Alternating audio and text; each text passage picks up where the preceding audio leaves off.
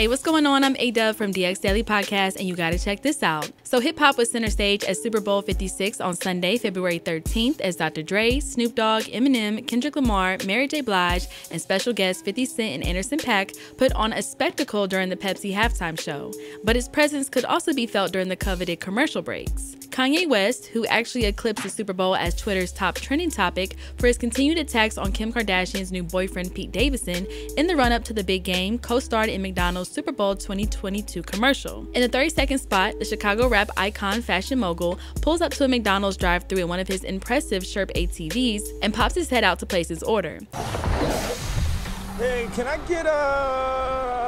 The commercial, which also features NASCAR driver Bubba Wallace, FIFA Twitch streamer Edwin Castro, and iconic McDonald's character Grimace, is inspired by a universal fan truth that sometimes you just can't decide what to order, according to the fast food giant. Following the airing of the commercial, Kanye West took to Instagram to share an outtake from the Super Bowl spot. The 15 second extended cut shows Ye trying to hold his uh for as long as possible, which even for a seasoned performer like himself proved a challenge as he took deep gasps of air in between.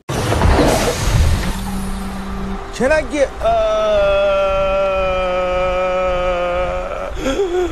uh uh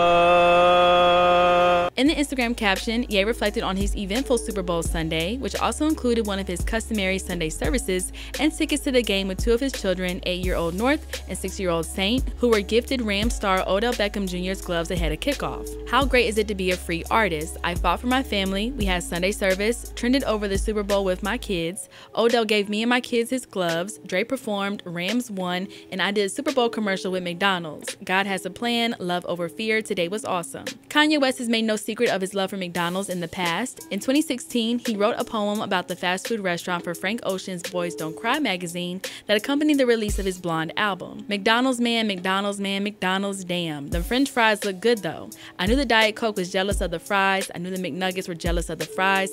Everybody was jealous of them french fries, except for that one special guy, that smooth apple pie. But what did you think about Kanye West and the McDonald's commercial? Was it your favorite commercial during the Super Bowl, or what was your favorite commercial this year? Let us know your thoughts in the comment section below. Make sure to hit that subscribe button and notification bell to stay up to date on all of our new videos, and subscribe to the DX Daily Podcast on all streaming platforms. And as always, make sure to keep it all the way locked to hiphopdx.com.